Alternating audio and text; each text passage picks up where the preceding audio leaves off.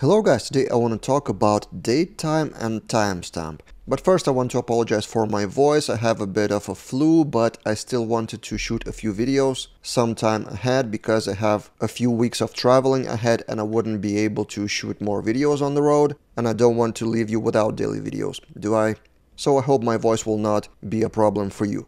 Anyway, have you ever thought what is the difference between date time and timestamp in Laravel migrations? Someone asked this question on my Laravel Daily Com as a comment, and I thought that I never really thought about it. Sometimes I use timestamp, in fact most of the time, but sometimes I do use date time, and I never really felt the difference. So I tried to research, so this video is not the definite answer, but I will act kind of like a journalist from the field reporting to you what I found out. So first my research stopped on the answer by Michael Dyrynda on Laracast forum 6 years ago. It's heavily upvoted with 62 likes, which is a huge number in Laracast forum terms. And the main difference he is saying that timestamp can use current timestamp and datetime cannot. And I've tried to simulate that. I've added two fields to users table, datetime and timestamp, and tried to use use current on update, which is a shortcut to current timestamps on update. And let's see if it's still the case. In my Tinkerwell, I have something like this. So create a user and then update it with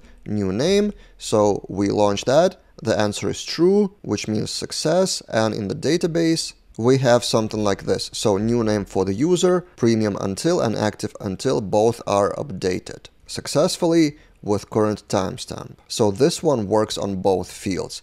So apparently, if I'm not mistaken, this is not the case anymore. So it was the case six years ago. And similarly, it was said on Stack Overflow in one of the answers. Timestamp can use current timestamp. Apparently, datetime can use that as well these days. So it's not the difference anymore. What is still the difference is the limit of future time of potential values of that field. So date time has the limit of year 10,000 or 9999 and timestamp will cause the trouble in year 2038. It is also a well-known kind of a bug like year 2000 bug. I haven't read much about it, but I know that in 2038 all IT people will have to do something with timestamp fields. So when I try to simulate that with Tinkerwell again, we launch that and it is successfully created with premium until and active until in 2038. But if I change that to 2039, we will get an error that invalid datetime format on active until specifically, which is a timestamp field. So no problem with this field, but there is a problem with active until. So if you want currently to have values in more distant future than 2038, you should use datetime. And finally, I found an article of differences between MySQL datetime and timestamp, because under the hood, those migrations actually create different MySQL types of columns. So this is datetime MySQL type, and this is timestamp. So what is the difference? As of 2020, this article says, I haven't checked those facts, but they are similar, but aside from those range differences, also the size is different. In the latest MySQL version, datetime requires 5 bytes, plus 3 additional bytes for fractional seconds if you want to use them. Timestamp requires 4 bytes. I guess it's not a major difference for majority of the projects, but if you have million records, you may think about it. Also, time zones are important. Time zones in general is a totally separate topic of the video for the future, but apparently timestamp is better for time zones because it converts the time zones. Datetime does not convert and remains constant with the time zones. Also, timestamps can be indexed, and actually let's try that. Let's add index here and index here. And let's remigrate the database, migrate fresh. Would it throw an error? Nope.